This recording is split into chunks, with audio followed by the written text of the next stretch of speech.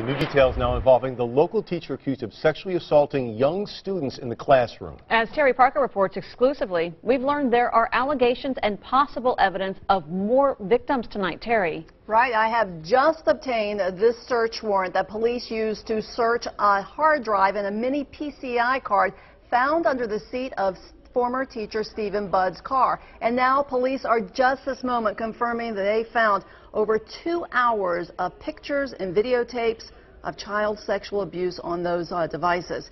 The question is tonight, who are the children depicted in those images? Now, according to the search warrant, after police arrested Budd in April, he denied molesting two fourth grade girls at Rosarian Academy, where he was then a teacher. But after his arrest, police say Budd's daughter broke down and said she was, quote, sick of protecting her father and not speaking about the things she witnessed during her childhood.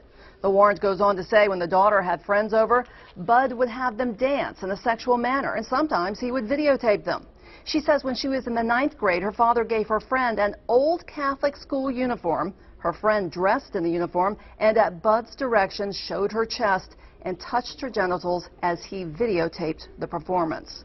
The warrant goes on to say that Budd directed his daughter to hide his laptop the night he was arrested. Police have now forwarded this new information to the state attorney's office for possible pending child porn charges. They are still trying to identify the children seen on that videotape, both boys and girls, tonight.